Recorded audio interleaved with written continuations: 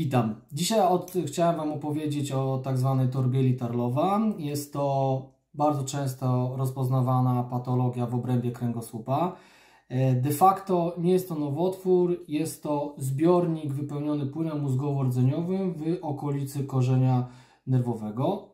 Występuje rzadko, około 5% populacji, jednakże jest bardzo częstą przyczyną wizyty u neurochirurga, ponieważ jest ona często właśnie rozpoznawana w rezonansie magnetycznym.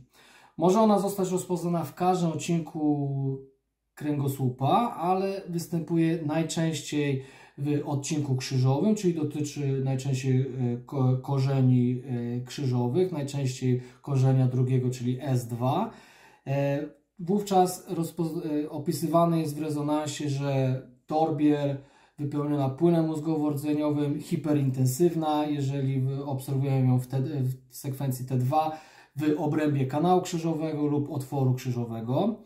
Co jest najważniejsze, jest ona najczęściej bezobjawowo, jest ona, występuje u danego pacjenta bardzo długo, ponieważ pewne cechy o tym świadczą, jakby na przykład poszerzenie samego otworu krzyżowego, w, okolicy której ten, ta torbiel jest i nie wymaga jakiejkolwiek interwencji. To znaczy, że jeżeli pacjent przychodzi do neurochirurga z bólami kręgosłupa albo innymi zespołem bólowym i ma rozpoznany torbiel tarlowa, najpewniej nie jest ona przyczyną jego dolegliwości i tą dolegliwość, y, problemy pacjenta musimy, ich źródeł musimy szukać w innym miejscu.